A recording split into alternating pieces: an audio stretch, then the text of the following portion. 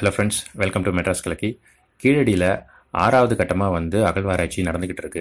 இந்த ஆறாவது கட்ட அகழ்வாராய்ச்சியில் என்ன மாதிரி தொழில் பொருட்கள்லாம் வந்து கண்டுபிடிச்சிருக்காங்க அப்படிங்கிறத இந்த வீடியோவில் பார்க்க போகிறோம் அது மட்டும் இல்லாமல் கீழடியை சுற்றி இருக்கக்கூடிய ஒரு சில பகுதிகள் அதாவது கொந்தகை மணலூர் அகரம் இந்த மாதிரி பகுதிகள் வந்து என்ன மாதிரி பகுதிகளாக வந்து பயன்படுத்தப்பட்டு இருந்தது அப்படிங்கிறதையும் நம்ம பார்க்க போகிறோம் ஸோ இந்த வீடியோ உங்களுக்கு நான் நினைக்கிறேன்.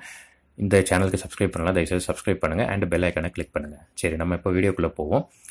ஆர்கியலாஜிக்கல் சர்வே ஆஃப் இந்தியா அப்படின்னு சொல்லக்கூடிய சென்ட்ரல் கவர்மெண்ட்டினுடைய இந்த தொழில் நிறுவனம் வந்து ரெண்டாயிரத்தி பதினாலில் கீழடி அப்படிங்கிற ஒரு இடத்த வந்து வைகை ஆற்றுப்படுக்கையில் வந்து கண்டுபிடிச்சாங்க. அதுக்கப்புறம் பார்த்தீங்கன்னா அன்னிலேருந்து இன்னி வரைக்கும் வந்து ஆறு கட்டமாக இந்த இடத்துல வந்து தொழில் ஆராய்ச்சிகள் வந்து அகழ்வாராய்ச்சிகள் வந்து நடந்துகிட்டு இருக்கு அதில் முதல் மூணு பகுதி வந்து இந்த ஏஎஸ்ஐன்னு சொல்லக்கூடிய சென்ட்ரல் கவர்மெண்ட்டினுடைய இந்த ஒரு அமைப்பு தான் வந்து பண்ணிக்கிட்டு இருந்தாங்க அதுக்கப்புறம் வந்து நாலாவது அஞ்சாவது ஆறாவது கட்ட அகழ்வாராய்ச்சியை வந்து நம்மளுடைய தமிழ்நாடு ஸ்டேட் கவர்மெண்ட்டே வந்து பண்ண ஆரம்பித்தாங்க ஸோ இதில் வந்து இந்த ஆறாவது பகுதியில் வந்து நிறைய பொருட்கள் வந்து தொழில் பொருட்கள் கண்டுபிடிச்சிருக்காங்க.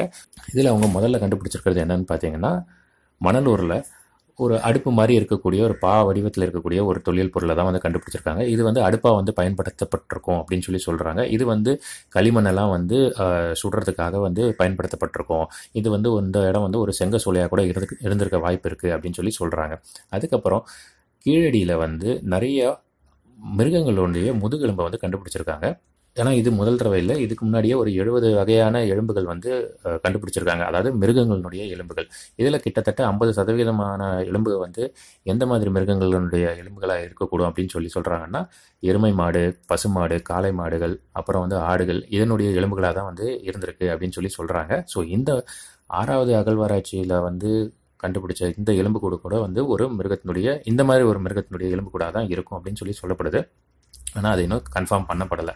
அதுக்கப்புறம் அகரம் அப்படின்னு சொல்லக்கூடிய இந்த பகுதியில் வந்து தங்க நாணயங்கள் கண்டெடுக்கப்பட்டிருக்கு. இந்த தங்க நாணயங்கள் வந்து கிட்டத்தட்ட பதினேழாவது நூற்றாண்டில் பயன்படுத்தப்பட்ட தங்க நாணயங்கள் மாதிரியே தான் வந்து இருக்குது அப்படின்னு சொல்லி சொல்கிறாங்க இந்த நாணயத்தில் வந்து யூ வடிவத்தில் வந்து ஒரு சிம்பிள் வந்து பொறிக்கப்பட்டிருக்கு. அது மட்டும் இல்லாமல் நிறையா புள்ளிகளும் வந்து பொறிக்கப்பட்டிருக்கு. இந்த இந்த யூ சிம்பிள் வந்து நாமத்தை குறிக்குது அப்படின்னு சொல்லி சொல்லப்படுது.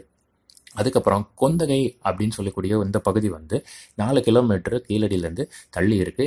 இது வந்து ஒரு மயான பூமியாக இருந்திருக்கக்கூடும் அப்படின்னு சொல்லி சொல்கிறாங்க ஏன்னா இந்த இடத்துல வந்து நிறைய மனித எலும்புக்கூடுகள் வந்து கண்டுபிடிக்கப்பட்டிருக்கு.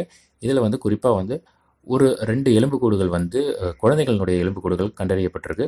அது மட்டும் இல்லை இந்த இடத்துல ஒரு மூணு வகையாக அடக்கம் பண்ணியிருக்காங்க. என்ன மாதிரி அடக்கங்கள் பண்ணியிருக்காங்கன்னு பார்த்தீங்கன்னா பிட் பரியல் அப்படின்னு சொல்லக்கூடிய மண்ணில் வந்து குழி தோண்டி புதைக்கக்கூடிய அடக்கம் பண்ணியிருக்காங்க. அப்புறம் இறந்தவர்களுடைய உடலை வந்து ஒரு பெட்டிக்குள்ளே போட்டு அதை வந்து அடக்கம் பண்ணுறது தான் வந்து ஆன் பரியல் அதுக்கப்புறம் வந்து பார்த்திங்கன்னா சர்ஃபேஸ் பரியல் அதாவது ஒருத்தர் அடக்கம் பண்ண இடத்துல வந்து ஒரு குறியீடு வந்து பூமிக்கு மேலே வைப்பாங்க. அதுதான் வந்து சர்ஃபேஸ் பரியல்னு சொல்லுவாங்க. ஸோ இந்த மாதிரி மூணு வகையான அடக்க முறைகள் வந்து கையாளப்பட்டிருக்கு இந்த பகுதியில் அப்படின்னு சொல்லி சொல்கிறாங்க அதுக்கப்புறம் பார்த்தீங்கன்னா கீழடியில் நிறைய இடைக்கற்கள் கண்டறியப்பட்டிருக்கு. இந்த பகுதியில் இடைக்கற்கள் கண்டறியப்பட்டனால இந்த இடத்துல நிறைய வணிகங்கள் ந- நடந்திருக்கக்கூடும் அப்படின்னு சொல்லி சொல்கிறாங்க இது வந்து ஒரு பெரிய மார்க்கெட்டாக கூட இருந்திருக்கலாம் அப்படின்னு சொல்லி சொல்லப்படுது. எந்த மாதிரி இடைக்கற்கள் வந்து கண்டறியப்பட்டிருக்கு அப்படின்னு பார்த்தீங்கன்னா ஒரு சில இடைக்கற்கள் வந்து இரும்பால் ஆனது ஒரு சில இடைக்கற்கள் வந்து பசால்ட்டுன்னு சொல்லக்கூடிய ஒரு வகையான கற்களால் ஆனது அப்படின்னு சொல்லி சொல்கிறாங்க பசால்ட் அப்படிங்கிறது வந்து ஒன்றும் இல்லைங்க. எரிமலையிலேருந்து வரக்கூடிய நெருப்பு துகள்கள் இருக்கு இல்லையா? அந்த நெருப்பு வந்து வெளியில் வந்து ஆறி அதுவே வந்து ஒரு கல்லாக மாறும். அதுதான் வந்து பசால்ட்டுன்னு சொல்லுவாங்க. அதில் வந்து இந்த மாதிரி இடைக்கற்களும் செய்யப்பட்டிருக்கு அப்படின்னு சொல்லி சொல்கிறாங்க இந்த இடைக்கற்களினுடைய அடிமட்டம் பார்த்தீங்கன்னா அடியில் வந்து ஃப்ளாட்டாக இருக்கும். அதாவது தர தட்டையாக இருக்கும். மேல் பகுதி வந்து உருண்டையாக இருக்கும். ஸோ இந்த மாதிரி இடைக்கற்கள் வந்து ஒரு விதவிதமான வெயிட்டில் வந்து கண்டுபிடிச்சிருக்காங்க. அதாவது எட்டு கிராமில் ஒன்று நூற்றி ஐம்பது கிராம்லேயும் இருக்குது முந்நூறு கிராம்லேயும் இருக்குது பதினாறு கிராம்லேயும் இருக்குது அப்படின்னு சொல்லி சொல்லப்படுது.